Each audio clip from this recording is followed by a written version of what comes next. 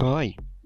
In this video, we will see how to work with the timeline to create an animation. So first, we need to show the timeline tool.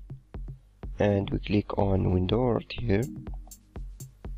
Then, we check the timeline. Now we can create animations and videos. To create your first video, you click right here, create video timeline. As you can see, we have this layer 0, which is the same layer right here. And if we rename it, we call it background.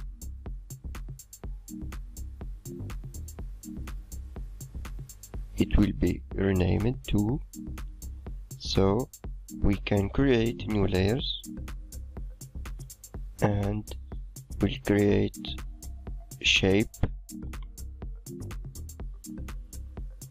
Let's say circle.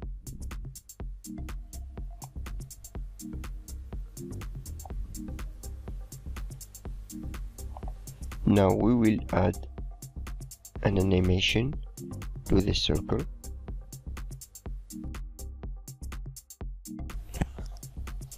So to animate this circle, we'll use the timeline tool.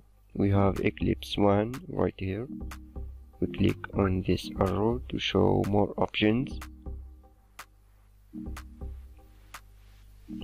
So you make one click and you find position, opacity style, vector mask position and vector mask enable.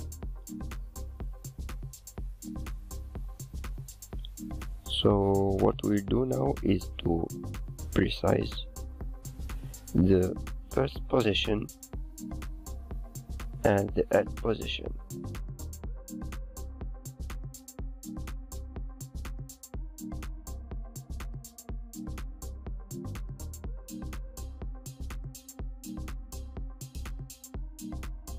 We can even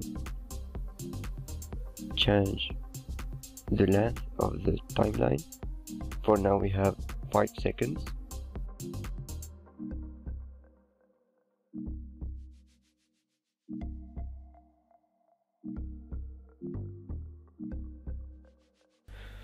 So now we click on opacity to initiate the opacity effect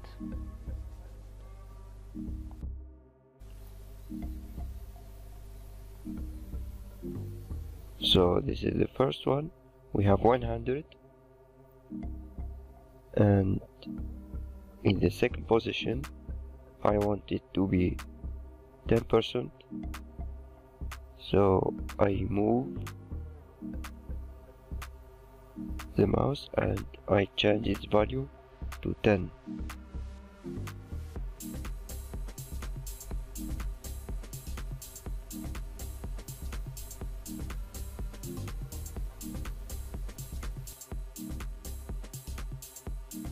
so we will play the video.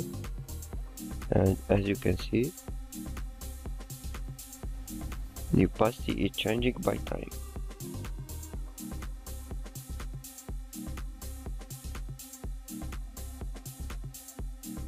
So we will add now another opacity. I want it to go back to 100 so we'll play the video again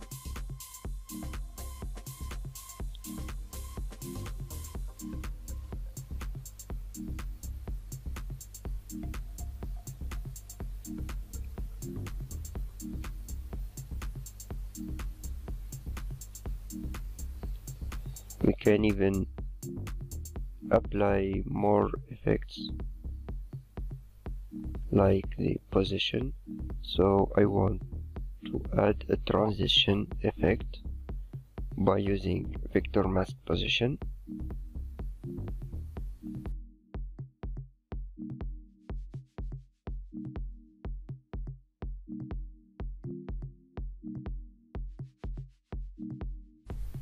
so we initiate the first position.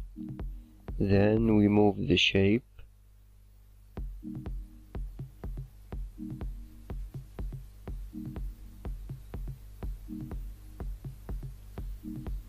And Photoshop will apply the effect on the final position. So now we'll play the video. So it's transparent then 100 and it's moving. So this is how you can create animations and video with the timeline tool of Photoshop. Thank you for watching